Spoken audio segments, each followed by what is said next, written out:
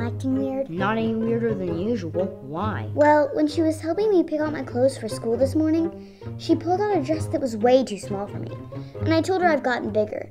And she took the dress out and put it in the closet in the spare bedroom. Now that you mention it, I have noticed some weird behavior from her. Like what? When she was helping me clean up my room this week, we came across some old toys I didn't play with anymore, and she picked them up and put them in the spare bedroom. She's stealing our stuff. Yeah, she's never done that before. That is weird.